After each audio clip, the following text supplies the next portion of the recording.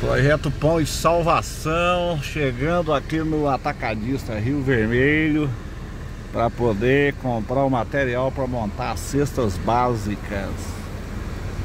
Quero agradecer a todos os irmãos que têm nos ajudado nesse projeto. Que Deus em Cristo abençoe a todos vocês e multiplique.